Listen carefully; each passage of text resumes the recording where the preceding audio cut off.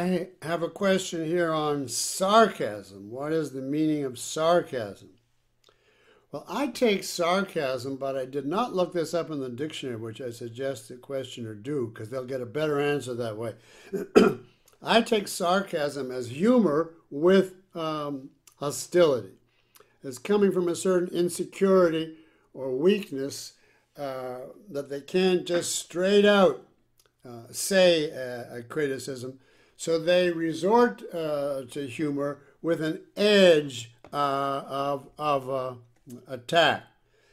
Humor, of course, is fine, it's great, but there is such a thing as straightforward uh, humor. You're joking, or it's a political joke, uh, like, for instance, on Leno, or it's satire where you're making fun of a whole approach. But when you have specifically sarcasm, uh, to me, that's not simply humor, but uh, an undercutting humor. A small example of that in the old, old movies was the actress Eve Arden, who um, uh, said outrageous things as sarcasm. That was her trademark. I never liked that character because it wasn't so much funny as bitter. But you will have to.